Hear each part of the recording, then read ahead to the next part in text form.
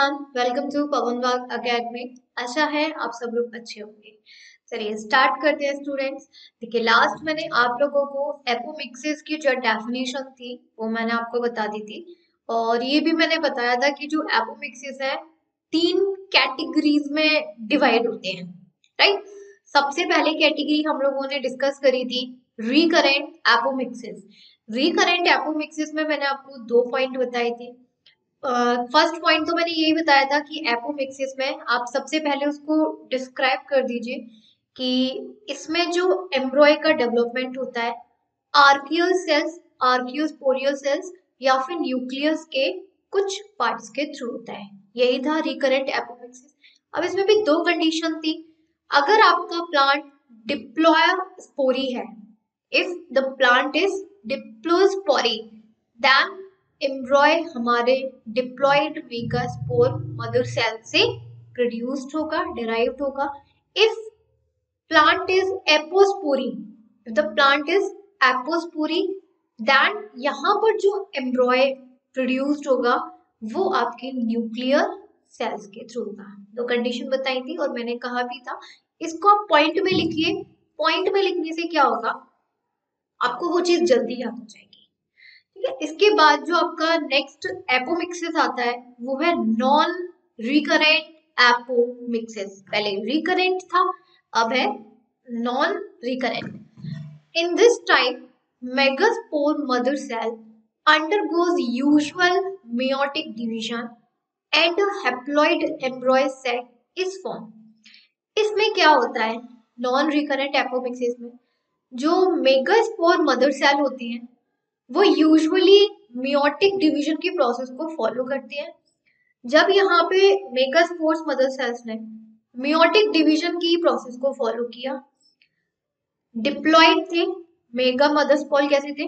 Diploid थे। मियोटिन की process को फॉलो किया, किसमें कन्वर्ट हो गए? हेप्लॉइड में कन्वर्ट हो गए। और यही haploid megaspore mother cell embryo को फॉर्म कर देता है। ठीक? Here the embryo arises either from the egg by parthenogenesis or from other haploid cells of gametophyte through apogamy. अब इस कंडीशन में क्या हुआ? सबसे पहले हमने नॉन रिकरेंट की डेफिनेशन पढ़। तो आप उसको दो लाइन में उसकी डेफिनेशन लिख दो सबसे पहले तो। कि नॉन रिकरेंट एपोप्लेसिस में क्या होता है? Megaspore mother cell meiotic division की प्रोसेस को फॉलो करती है। और हेप्लॉइड एम्ब्रॉय सेट को फॉर्म कर देते हैं। पैराग्राफ हो गया, यानी कि डेफिनेशन हो गई नॉन रिकरेंट एपोमिक्सिस की। अब इसमें भी दो कंडीशन है। फ़र्स्ट कंडीशन दैट एम्ब्रॉय ये जो एम्ब्रॉय है, ये या तो पैथनोजेसिस पैथनोजेनेसिस की प्रोसेस से फॉलो होगा फॉर्म्ड होगा।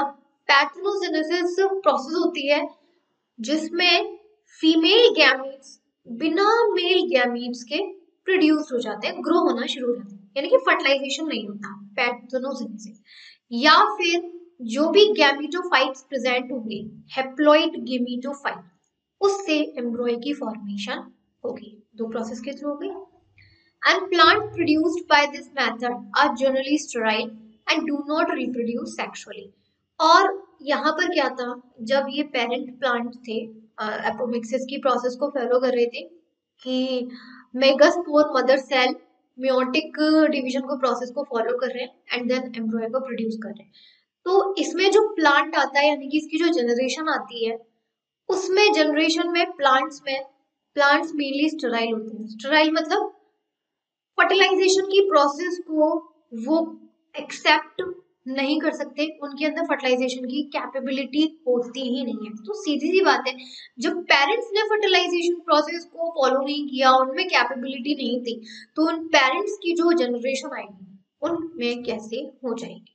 तो यहाँ पर भी जितने भी प्लांट्स प्रोड्यूस्ड होते हैं, इस नॉन रिकरेंट एपोमिक्सिस से they are journalist right they that mean they do not have capacity to fertilize तो सेक्सुअली रिप्रोडक्शन वो कर ही नहीं सकते हैं। उनको भी अपने मदर प्लांट मतलब पेरेंट प्लांट की तरह गैमिटोफाइट हेप्लॉइड सेल से या फिर पैथोनोजेनेसिस प्रोसेस के थ्रू अपने आप को आगे रिप्रोड्यूस करना पड़ेगा। एग्ज़ाम्पल में आपका प्लांट लिखा हुआ है Nicotiana example is Nicotiana okay चलिए नेक्स्ट थर्ड टाइप का कैटेगरी आ जाता है आपका एपोमिक्सिस में। Adventive embryony adventive embryony third category होती है आपकी एपोमिक्सिस की। इन दिस टाइप एम्ब्रॉय में डेवलप फ्रॉम सोमेटिक न्यूक्लियस और इंट्यूब्यूमेंट्स along with normal zygotic embryo आप लोगों से somatic nucleus somatic cells reproductive cells के बारे में पढ़ा होगा। थोड़ा सा रिवाइज कर लेते हैं। सोमेटिक सेल्स होते हैं आपके जो कि सोमेटिक सेल्स होते हैं, जो सिर्फ़ और सिर्फ़ कैरेक्टर को मतलब जो बॉडी के हमारे ऐसे सेल्स जो बॉडी की ग्रोथ और डेवलपमेंट में हेल्प करते हैं। Somatic cells are the cells which help in the body to grow and develop right तो सोमेटिक सेल्स के अंदर जो न्यूक्लियस होगा, वो भी तो सोमेटिक न्यूक्लियस होगा राइट या फिर इस कंडीशन में होता क्या है? एडवेंटिव एम्ब्रॉयनी में। जो एम्ब्रॉय है, या तो सोमेटिक न्यूक्लियस या फिर जो ओव्यूल का इंट्यूक्यूमेंट होता है इंट्यूक्यूमेंट लेयर थी ओव्यूल की, उसके थ्रू एक नॉर्मल जाइगोटिक एम्ब्रॉय प्रोड्यूस्ड होता है या डेवलप होता है। It is common in mango orange lemon etcetera and it's give rise to a condition called polyembryony ये कंडीशन इस कंडीशन में क्या होता है? एडवेंटिव एम्ब्रॉयनी में पॉली एम्ब्रॉयनी प्रोड्यूस्ड होता है। पॉली एम्ब्रॉयनी प्रोड्यूस्ड होगा, अभी हम इसको भी देखेंगे। Genetically identical plants can be produced effectively and rapidly by apomixis ज़्यादातर जितने भी आइडेंटिकल प्लांट्स होते हैं द सेम एक जैसे, वो एपोमिक्सिस से जल्दी और इफेक्टिवली ग्रो होते हैं कंपैरिजन टू सेक्सुअल क्योंकि सेक्सुअल में क्या होता है? पहले पॉलिनेशन होगा फर्टिलाइजेशन होगा जायगॉट बनेगा, फिर एम्ब्रॉय बनेगा, उसके बाद फिर फ्रूट सीड फिर वो mature they take lots of time right they take lots of time but in apomixis process क्या हुआ? डायरेक्ट एम्ब्रॉय प्रोड्यूस्ड हो रहा है ना? जाइगोट को तो संभाल ही नहीं आ रहा है यहाँ पर. डायरेक्ट एम्ब्रॉय प्रोड्यूस हो रहा है. यानी कि यहाँ पे तीन प्रोसेस बच गई. पॉलिनेशन वाली फर्टिलाइजेशन वाली जाइगोट फॉर्मेशन वाली. डायरेक्ट किस पे? फोर्थ वाले स्टेज पर हमारे जो एपोमिक्सिस है बेबी को प्रोड्यूस करती है एम्ब्रॉय को। इसीलिए जितने भी ज़्यादातर आइडेंटिकल प्लांट्स होते हैं वो एपोमिक्सिस के through rapidly and effectively produce होते हैं। ओके आई होप क्लियर हो गया होगा। चलिए नेक्स्ट आ जाते हैं पार्चनो कैपी आप लोगों ने यहाँ पे देखा ना? आ, एक सेकेंड या यहाँ पे देखिए यहाँ पे लिखी हुई है। Parthenogenesis process. वैसे तो मैंने बता ही दिया पैथनोजेनेसिस यानी कि बिना फर्टिलाइजेशन के जो आपका एम्ब्रॉय प्रोड्यूस्ड होता है। अब इसमें क्या क्या कंडीशन है, वो हम यहाँ देख लेते हैं। The term is coined by Noll in 1902 ये जो पैथनो कैपी का टर्म है, ये नॉल साइंटिस्ट थे। 1902 में बताया था कॉइन किया था। It is the condition in which fruit is develop without the process of fertilization यही बोला था मैंने कि पैथनोकैर्पी एक ऐसी कंडीशन या प्रोसेस है जिसमें जो फ्रूट या सीड डेवलप होता है, बिना फर्टिलाइजेशन के होता है। सिर्फ़ और सिर्फ़ फीमेल गैमीट से होगा, उसमें मेल गैमीट यानी कि पोलन ग्रेन्स का कोई भी रिस्पॉन्सिबिलिटी नहीं होती।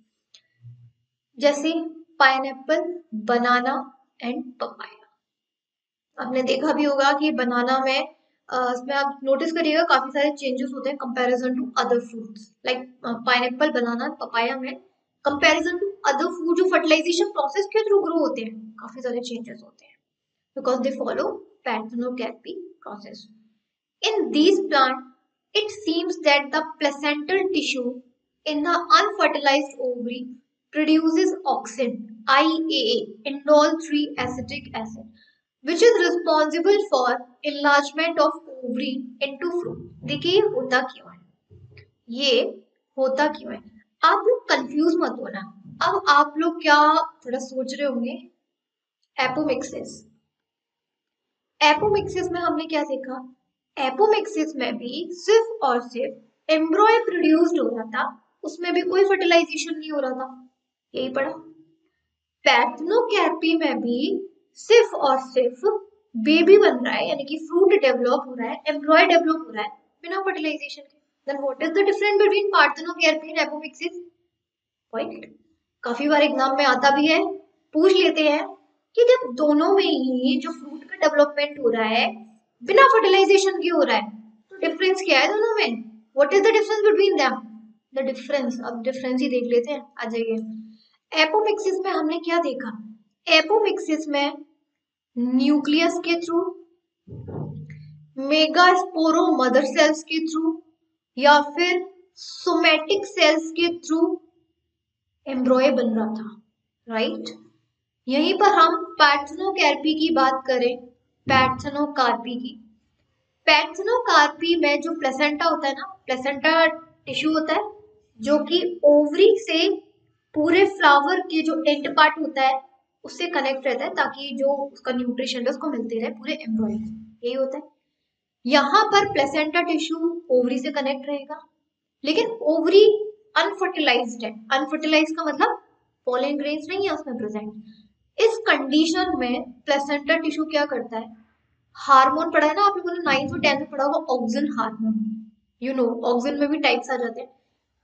प्लेसेंटा टिश्यू एक ऑक्सिन हार्मोन रिलीज़ करता है, उस ऑक्सिन में भी आई ए ए हार्मोन रिलीज़ करता है, जिसका फुल फॉर्म होता है indole three acetic acid.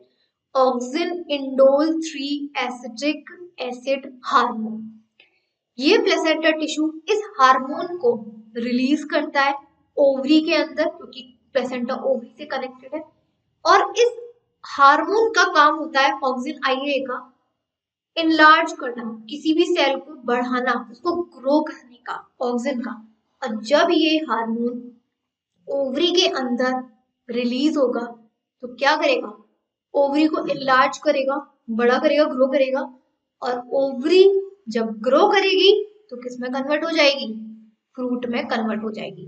This is the difference between apomixis and parthenocarpy apomixis में न्यूक्लियस के थ्रू हेप्लॉइड सेल्स के थ्रू सोमेटिक सेल्स के थ्रू एम्ब्रॉय फॉर्म फॉर्म हो रहा था।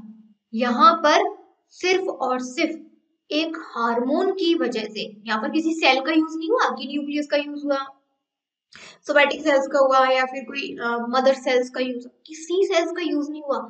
सिर्फ़ एक हार्मोन का यूज़ हुआ ऑक्सिन आई ए का, और उसने ओवरी को फ्रूट में कन्वर्ट कर दिया। तो this is the difference between fats नो कैट अब आई थिंक कोई कंफ्यूजन नहीं होगा आप लोगों को.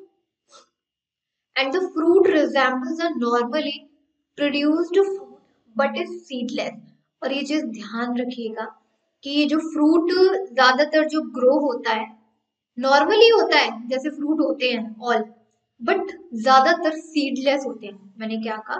ज़्यादातर. मैं ये नहीं कह रही कि सारे सीडलेस होते हैं. ज़्यादातर सीडलेस होते हैं. जैसे पपाया और बनाना, इसमें सीड्स नहीं होते।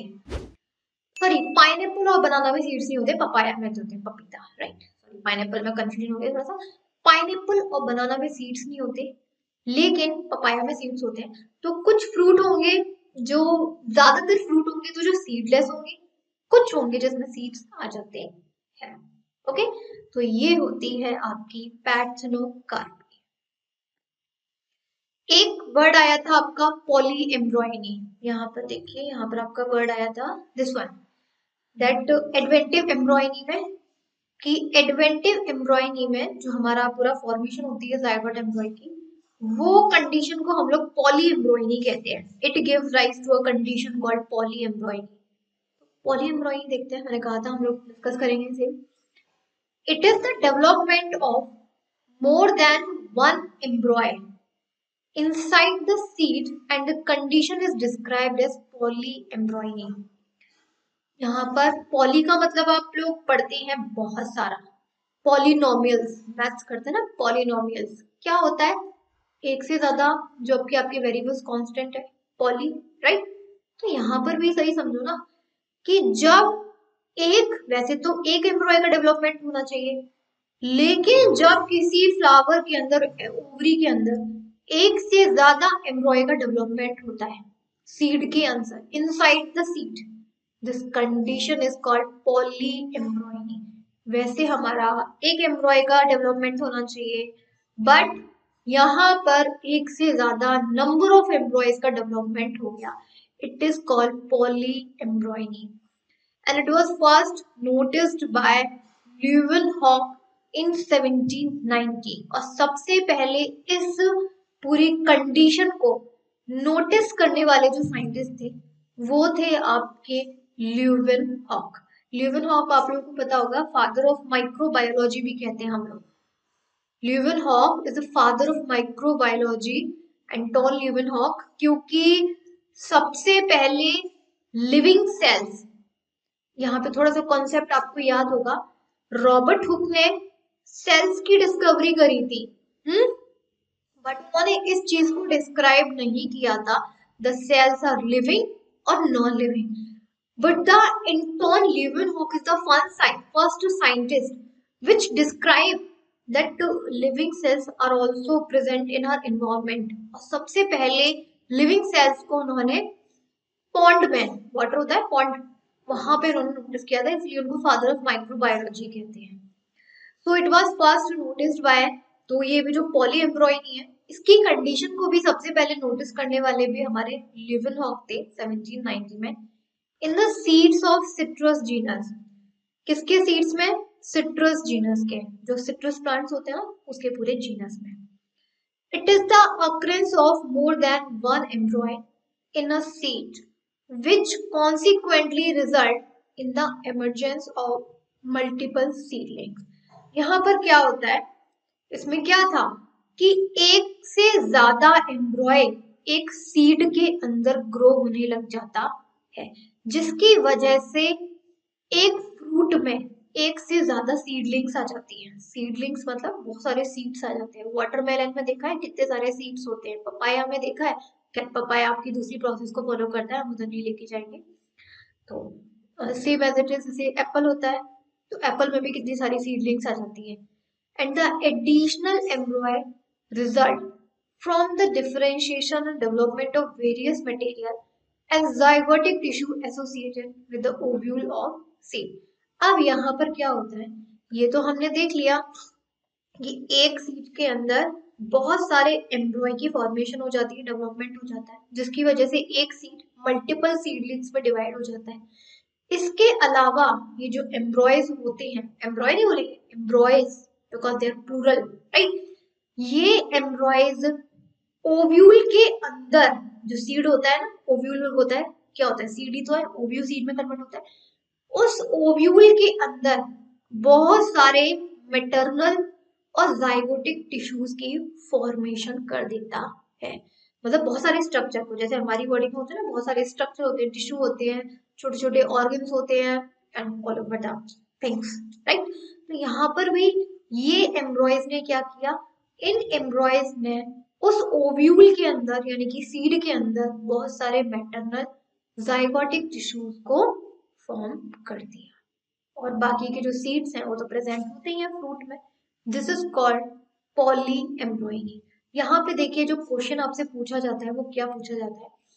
कि व्हाट इज़ पॉली एम्ब्रॉयनी तो आप डेफिनेशन लिख दीजिए when the development of more than one embryo inside the seed it is called और इस condition is called poly embryony scientist पूछ लेते हैं कि सबसे पहले किस साइंटिस्ट ने इसको नोटिस किया था? लिवन हॉग ने किया था 1790 में। किसके सीड्स uh, में किया था?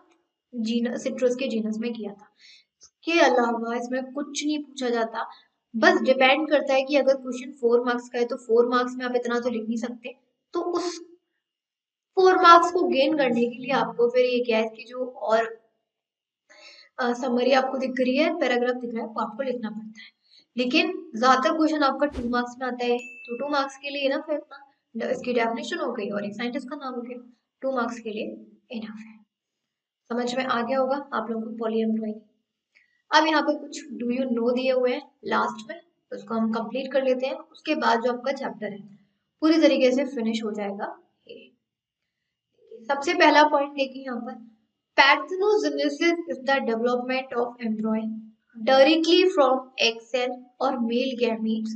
It is a kind of apogamy अभी हमने पैथोजेनेसिस पढ़ा था। पैथोजेनेसिस क्या था? The development of embryo directly from egg cell egg cell मतलब फीमेल गैमीट से या फिर मेल गैमीट से। ये भी ध्यान रखिएगा, ये जो पाइथनोगेनेसिस है ना, या तो ये फीमेल सेल से होगी या मेल सेल से भी हो सकती है मेल गैमेट से।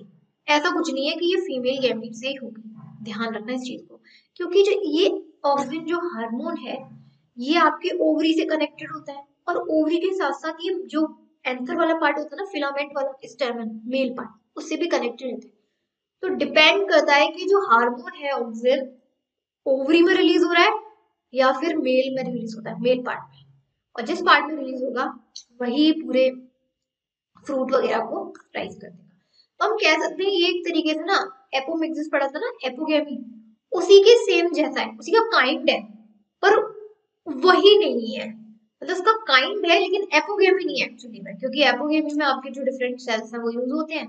पैथोजेनेसिस में सिर्फ़ हार्मोन यूज़ होते हैं राइट नेक्स्ट देखिए नेक्स्ट है agospermy Aegon agamospermy here plants produce seeds but embryo inside it is produced without meiosis and syngamy ये आपकी वो कंडीशन होती है जिसमें प्लांट सीड्स तो प्रोड्यूस करता है।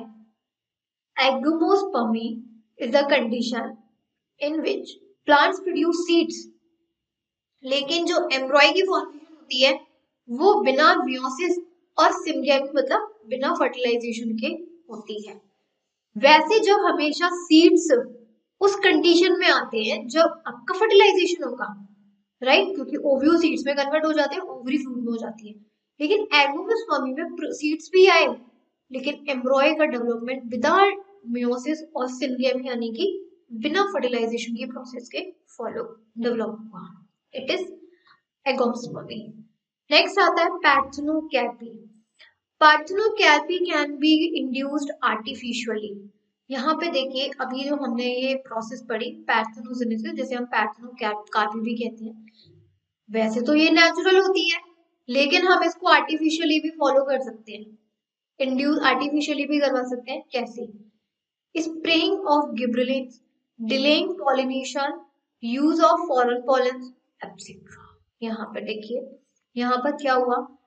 पैथोजोरेसिस में क्या था कि जो एम्ब्रॉय का डेवलपमेंट होता है, वो आपके हार्मोन से होता है ऑक्सीजन हार्मोन से। लेकिन जब इसको आर्टिफिशियली करना होता है इंड्यूस कराना होता है तो यहाँ पे जो दूसरा हार्मोन होता है गिब्रिलिन्स चार हार्मोन होते हैं प्लांट में ऑक्सीजन गिब्रिलिन्स और cytokinesis third one is abscisic acid या एबी एसिड याद होगा आप लोगों ने नाइन टेंथ में पढ़े आप लोगों ने। इलेवेंथ में भी पढ़ा होगा। तो यहाँ पर क्या है? इस पैथनोकैरपी को आर्टिफिशियली कराने के लिए गिब्रिलिन हार्मोन को स्प्रे कर दिया जाता है ओवरी पर। और फिर गिब्रिलिन क्या करता है? ओवरी को फ्रूट में कन्वर्ट कर देता है। डिलेइंग पॉलिनेशन पॉलिनेशन की प्रोसेस नहीं होने दें। जो कोई भी प्लांट है, कोई भी फ्लावर है, और उसमें पॉलिनेशन नहीं होना चाहिए। जब पॉलिनेशन नहीं होगा तो अपने आप की जो ओवरी है ना फ्रूट में कन्वर्ट हो जाएगी। या फिर एक और काम कर सकते हैं यूज़ ऑफ़ फॉरन पॉलन जो फॉरन पॉलन्स है, यानी कि दूसरे फ्लावर के जो पॉलन्स है, उनका यूज़ हम कर सकते हैं। So this is the artificially induce pattern next है, genetically uniform parental type seedlings are obtained from nuclear embryo ज़्यादातर जो जेनेटिकली यूनिफॉर्मली पेरेंटल होते हैं, वो हमेशा एक second genetically uniform parental type seedlings are obtain from nuclear embryo हाँ यहाँ पर जितने भी आपने प्लांट्स देखे, जो बिल्कुल अपने पेरेंट की तरफ़, बिल्कुल same as it is parent की तरफ़ होते हैं, एक परसेंट उसमें कोई भी डिफरेंस नहीं होता। ऐसे सीडलिंग्स ऐसे जो सीड्स होते हैं न्यूक्लियर एम्ब्रॉय से ऑप्टेन किए जाते हैं। आप लोगों ने अभी देखा था ना नॉन कनेक्ट वाला, उसमें क्या था? न्यूक्लियर सेल्स का यूज़ किया था। न्यूक्लियर सेल्स का यूज़ किया था ना एम्ब्रॉय को प्रोड्यूस करने के लिए।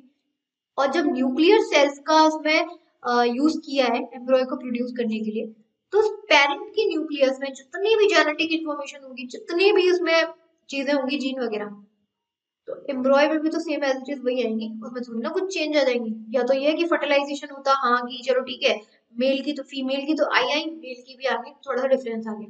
कोई डिफरेंस नहीं आ सकता।